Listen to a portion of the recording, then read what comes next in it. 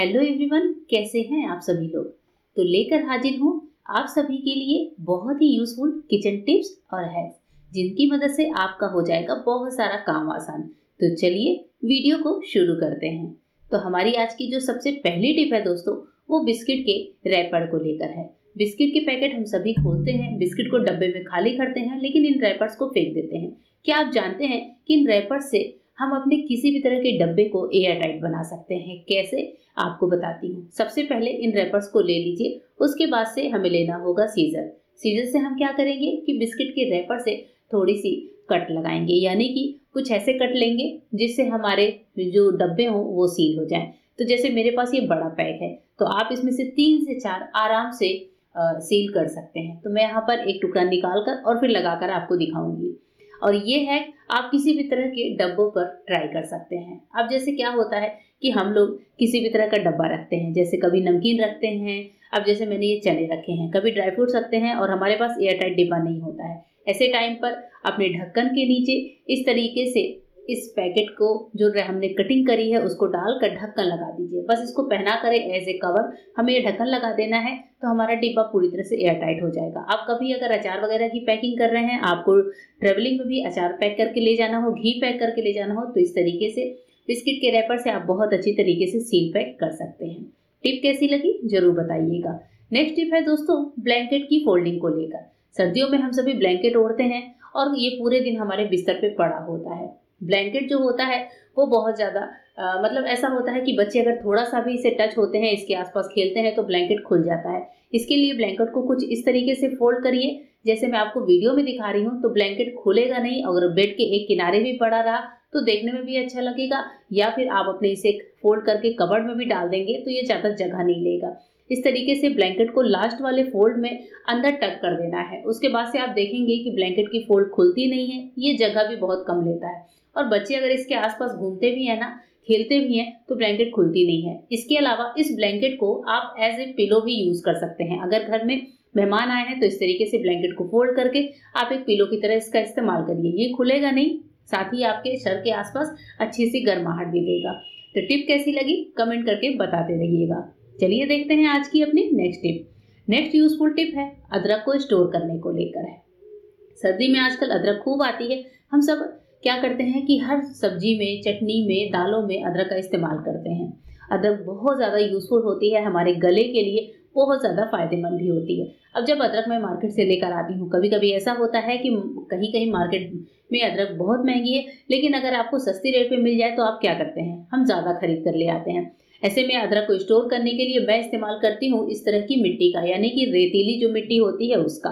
अदरक को किसी डब्बे में भर कर उसके ऊपर से डाल देते हैं मिट्टी। मिट्टी से इसको हल्का सा कवर कर दीजिए और उसके बाद से आप लगा दीजिए ढक्कन। रेत जो होती है वो ठंडी होती है, जिसकी वजह से अदरक हमारा खराब नहीं होता है। इस तरीके से इस डब्बे को आप फ्रिज में रखकर अदरक को छः महीने, साल भर तक भी स्टोर कर सकते हैं। मिट्टी की ठंडक की वजह से अदरक खराब नहीं होता है और अदरक की तासीर ऐसी होती है कि मिट्टी के साथ ये काफ़ी लंबे टाइम तक चलता है। तो इस तरह की टिप से आपके बहुत सारे पैसे भी बच जाएँगे। चलिए देखते हैं आज की अपनी next useful tip next useful tip है तवे को लेकर। तवे पर जैसे मैंने मॉर्निंग में बनाया था पराठा। पराठे बनाने के बाद तवे की हालत हो जाती है कुछ ऐसी। अब इसे लगातार रगड़ते रहना रगड़ते रहना, ये पॉसिबल नहीं होता है। तो तवे की एक दिन अगर वीक में डीप क्लीनिंग कर ली जाए तो तवा हमारा बहुत अच्छे से शाइन करने लगता है। तवे तवे को डीप क्लीन करने के लिए मैं यहाँ पर ले रही हूँ नमक। नमक मेरे पास सीधा नमक था, जिसकी थोड़ी सी डलियाँ हैं तो मैं हाथों से तोड़ कर डाल रही हूँ। नमक जो होता है, एक तरह का क्लीनिंग एजेंट होता है, ये गंदगी को छाटता है। तो नमक डालने के बाद हमें क्या करना है? तवे को पहले हल्का सा गर्म करना है। नमक को अच्छे से इस तरीके से फैला देते हैं, चिकनाई के ऊपर, जिससे नमक जब गर्म हो तो चिकनाई के साथ ये उतरता है। तो नमक को हल्का सा गर्म करिए, और उसके बाद से हमारे आपके सबके फ्रीजर में दोस्तों हर समय आइस तो अवेलेबल होता ही है, यानी कि बर्फ़ का एक टुकड़ा। वो एक टुकड़ा ले लीजिए इस बर्फ़ के टुकड़े को लेकर आपको नमक के ऊपर इसको इस तरीके से फिरा देना है। अब ये थोड़ा गर्म हो गया है तो मैंने इसे छोड़ दिया है। इसे हम स्पून से घुमा सकते हैं। इस तरीके से आइस घुमाने से होता यह है कि नमक और बर्फ़ मिलकर जो तवे की चिकनाई है, उसको पूरी तरह से एकदम अलग कर देते हैं, यानी कि निकाल देते हैं। आप बर्फ़ को घुमाते ही घुमाते देखेंगे कि तवे की जो साइड की चिकनाई है, वो निकलकर बीच में पानी वाली जगह पर आने लगी है। नमक से जो है हमारी जो तवे का सरफेस है, वो एकदम दरदरा सा हो जाता है तो चिकनाई निकालना बहुत ही आसान हो जाता है। इस तरीके से चारों ओर अच्छे से ये जो पानी है, इसको आप चारों ओर घुमा दीजिए, गैस को बंद कर दीजिए। अब हम तवे को थोड़ा सा ठंडा होने देंगे। तुरंत ही इसको रगड़ने की ज़रूरत नहीं है, बस तवे को हल्का सा ठंडा होने दीजिए। फिर आप देखेंगे कि कैसे आपका तवा एकदम बढ़िया से शाइन करने लगा है। ये लीजिए, तवा ठंडा हो गया है, अब मैंने लिया है पुराना दिया, या फिर आप ईट का कोई टुकड़ा या स्टील का जूना भी ले सकते हैं। अब इस दिए से जैसे ही आप हल्का हल्का रगड़ना शुरू करेंगे तवे को, आप देखेंगे कि तवे की क्लीनिंग कितनी बढ़िया से होने लगी है। यानी कि जो चिकनाई है, वो निकल कर बहुत अच्छे से साफ़ होने लगा है तवा। ये देखिए, दिए से आप आगे की तरफ़ से या फिर पीछे की तरफ़ से बहुत अच्छे से अपने तवे को क्लीन कर सकते हैं।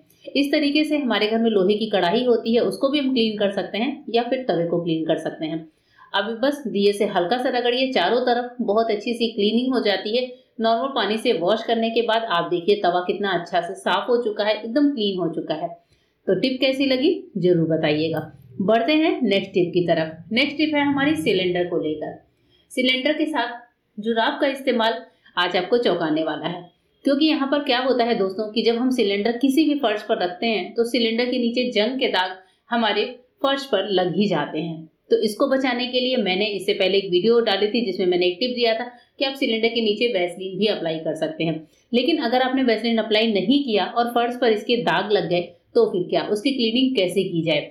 जो जंग के दाग होते हैं, वो छूटने थोड़े से मुश्किल होते हैं। जैसे यहाँ पर सिलेंडर के दाग जो कि लगे हुए हैं, अब इनको छुड़ाना थोड़ा सा मुश्किल है। मैंने क्या किया? इसको पानी डालकर हल्का सा गीला किया है तो इस तरह से ये फैला फैला सा दिख रहा है कि काफ़ी टाइम पुराना दाग है। अब इसको साफ़ करने के लिए हम ट्रिक करते हैं। तो उसके लिए सबसे पहले हमारे पास होता है हार्पिक। हार्पिक जो टॉयलेट क्लीनर होता है, उसको ले लीजिए और थोड़ा सा यहाँ पर इस फर्श पर डाल दीजिए। उसके बाद से आपको लेना है कोई सा भी पुराना मोजा। कोई पुरानी जुराब ले लीजिए और साथ में ले लीजिए एक चम्मच। चम्मच थोड़ी सी बड़ी ली है मैंने। चम्मच में मैंने जुराब को पहना दिया है। अब चम्मच और जुराब की मदद से हम क्या करेंगे? जो दाग है, वो आपने देखा है कि हार्पिक के डालने के बाद और पहले से चूँकि मैंने इसमें पानी डालकर रखा था तो दाग एकदम ढीला सा हो गया है। जिससे ये जंग के दाग बहुत अच्छे से निकलने लगते हैं। बस इस तरह से क्या होता है कि मोजे का जो फैब्रिक होता है, उससे भी क्लीनिंग बहुत अच्छी होती है। इस तरीके से जैसे ही आप इस पर अपने चम्मच और जुराब को घुमाएँगे तो देखेंगे कि बहुत अच्छे से जंग का दाग निकलने लगा है। तो इस तरीके से हम अपने सिलेंडर के नीचे वाले सरफस को जुराब की मदद से बहुत अच्छे से क्लीन कर सकते हैं। नेक्स्ट टिप है दोस्तों हमारी पोछे वाले पानी को लेकर। जब भी हम घर में कहीं पोछा लगाते हैं, चाहे अपने फर्श पर या फिर किचन की स्लैब पर। तो हम पोछे का एक पानी तैयार करते हैं। लेकिन इस पानी में अगर हम ये दो चीज़ें डाल लें तो हमारे घर में निगेटिविटी से दूर होगी साथ ही पूरा घर खुशबूदार भी रहेगा। साथ ही घर में मक्खी, मच्छर, चीटी, ये सारी चीज़ें भी नहीं लगेंगी। तो इसके लिए सबसे पहले जो चीज़ मैंने पोछे के पानी में डाली है, वो है दोस्तों नमक। नमक आप कोई सा भी ले सकते हैं, समुद्री नमक, सेंधा नमक या फिर नॉर्मल आयोडीन नमक। नमक डालने से जो फर्श होता है, उस पर चीटी मक्खी, मच्छर इस तरह के जीव नहीं लगते। दूसरी चीज़ मैं ले रही हूँ, वो है टेलकम पाउडर तो अगर आपके घर में भी एक स्मेल है, एक बदबू सी है, और अचानक से ऐसे लगता है कि घर में कोई गेस्ट आने वाले हैं, पूरे घर को आपको सुगंधित बनाना है तो आप पोछे के पानी में पाउडर डाल लीजिए टेलकम पाउडर स्पेशली खुशबू वाला टेलकम पाउडर और इस पानी से अपने पूरे घर में पोछा लगा दीजिए। आप देखेंगे कि आपका घर कितना ज़्यादा खुशबू से भर गया है, क्योंकि हम पूरे घर में फ्रेग्रेंस तो फैला नहीं सकते। और पोछा ज़रूर लगा सकते हैं। बस इस पानी से आपको पूरे घर में पोछा लगा देना है। जैसे मेरी किचन की जो स्लैब है, उस पर कभी कभी मुझे ऐसा लगता है कि मक्खियाँ बहुत ज़्यादा आ रही हैं तो मैं इस पानी से पोछा लगा देती हूँ। तो नमक की वजह से मक्खी मच्छर भी दूर होते हैं, चीटियाँ भी नहीं आती। साथ ही पाउडर की वजह से किचन में जो स्मेल भरी होती है अलग अलग टाइप के खानों की, वो भी खत्म हो जाती है और बहुत अच्छे से मेरा पूरा किचन खुशबूदार हो जाता है। तो यहाँ पर स्लैब पर पोछ कर मैं आपको दिखाती हूँ। मेरे, मेरी पूरी किचन महक जाती है जब मैं इस तरह से पोछा लगाती हूँ। तो आप भी इस टिप को अपनाइएगा। मिलेंगे मेरे नए वीडियो में। तब तक के लिए गुड बाय थैंक यू